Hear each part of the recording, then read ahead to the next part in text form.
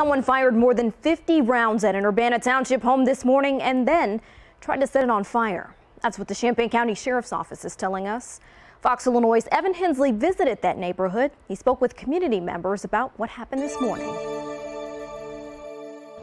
Neighbors tell me it sounded like fireworks were coming from this home here behind me in Urbana Township early this morning.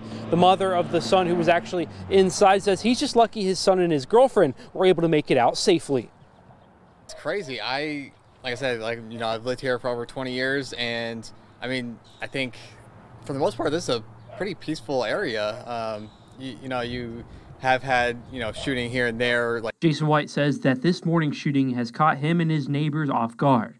I was able to speak with the mother of the man who had been living in the home with his girlfriend. She did not want to go on camera, but says what happened this morning was a nightmare for any parent. She said that both of them were able to make it out of the home safely.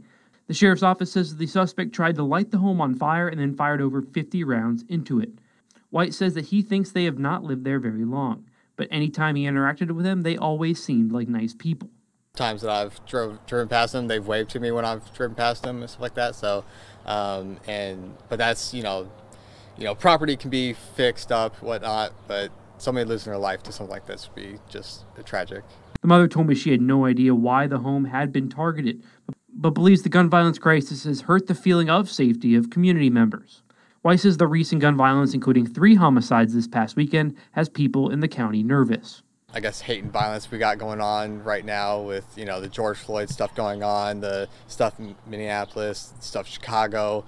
Uh, there's just a lot of shootings going on, and I mean it's it's crazy that you know you, you never think about it coming to your area. Lieutenant Kurt Apperson with the Champaign County Sheriff's Office says that solving cases like this requires the cohesiveness between law enforcement and the community. Work together on them. So um, that's one of the biggest things, and then just being having the community aware of what's going on and to keep their eyes out and to report anything if they think it's suspicious.